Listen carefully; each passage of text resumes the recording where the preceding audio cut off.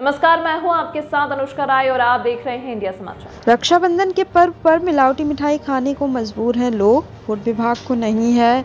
जनमानस के स्वास्थ्य की चिंता, जिम्मेदार विभाग के अधिकारी नहीं करते हैं मिठाई की दुकानों की चेकिंग महाराजगंज बाज़ार में बंगाली स्वीट हाउस के नाम से ढलल्ले से बेचा जा रहा है मिलावटी मिठाई। फ़ूड विभाग ने नहीं किया किसी भी मिठाई की दुकान की चेकिंग यह समाचार से ब्यूरो चीफ अमरेंद्र पांडे संत कबीर नगर